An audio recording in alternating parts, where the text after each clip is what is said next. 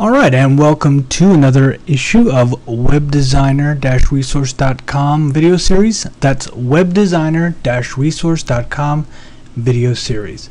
Today we're going to talk about how to add a custom form to your WooCommerce product.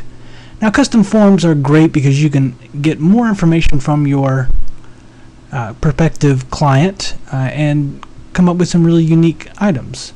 So the first thing you're going to need is you're going to need Gravity Forms. Gravity Forms allows you to create forms and use those in a variety of things uh, within WordPress. And you're also going to need the WooCommerce Gravity Forms plugin. That allows you to actually use a Gravity Form with a WooCommerce product. So we're going to come up here to Forms. This is what gets installed with Gravity Forms. You can you can see that you have some settings and right here we're going to go to new form. And by default we comes up with your blank form here. We can just go to edit.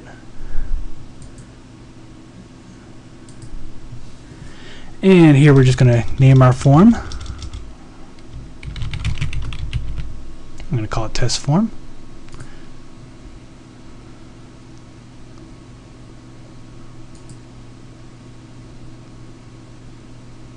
Now we are getting some errors and I'm not sure why. I'm guessing that's probably due to some jQuery uh, issues. So now, once we have the form name, that's just really for our reference, we can come over here to where it says standard fields and we can add different fields. And I'm going to just, to add it, you just click on it. So I'm going to click on the single line text and as you can see, and let a little line of text appeared right over here. I'm going to go to edit. Now I can give this a title I'm going to call this field, um, let's just say, your name. And in this case, we're going to ask the person for the name. We can have a description.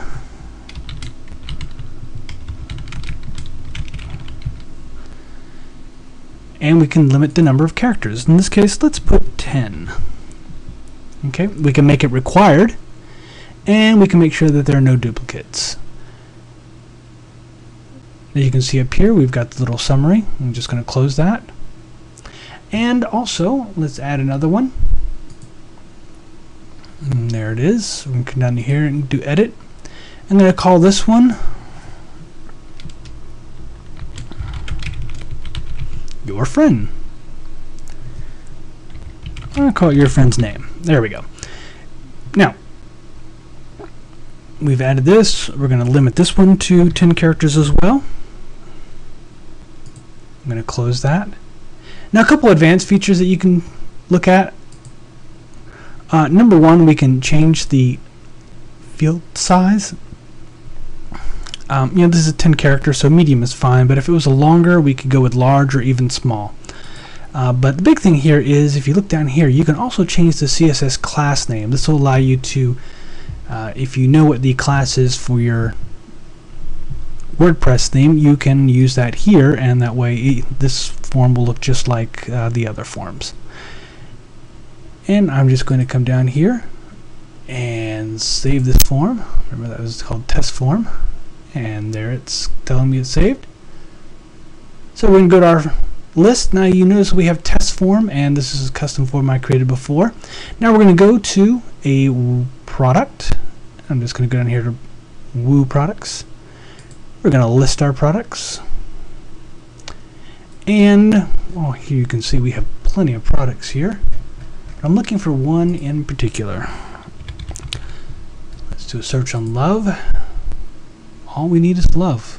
John Lennon. Shot in the back. So sad. Anyway, we're going to come over here. There's I love question mark. Wouldn't it be nice if we could let the person add their own information. Like, I love dad, I love mom, I love chocolate milk.